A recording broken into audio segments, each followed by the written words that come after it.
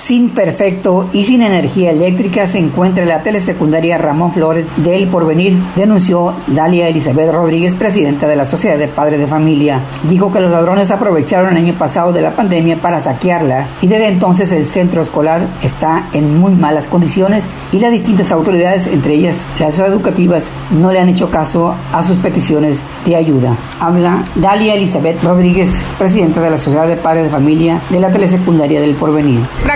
El año pasado, ya ve que lo de la pandemia quedó, saquearon la escuela, no tenemos luz, no tenemos este, prefectos, no tenemos intendencia y, prácticamente la sociedad este, de los padres este, no podemos este, pues con todo el trabajo que hacemos no alcanzamos a recabar fondos para, para que la escuela este, pues esté al 100 y hemos pedido apoyo al municipio, al Estado y hasta ahorita no nos han brindado ningún apoyo. Dalia solicitó el respaldo de las autoridades para que sus hijos desarrollen sus actividades en mejores condiciones y es que las instalaciones están en muy malas condiciones, reiteró Dalia Elizabeth Rodríguez a quien escuchamos de nuevo.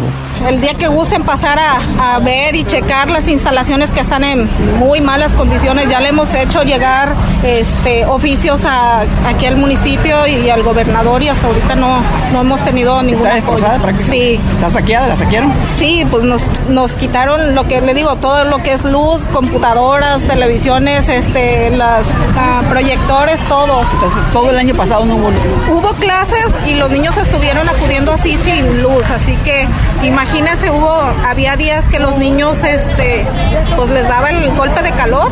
En esas condiciones es difícil llevar a cabo el proceso de enseñanza-aprendizaje. Desde Radio UDG Puerto Vallarta para Canal 44 TV, Javier Santos.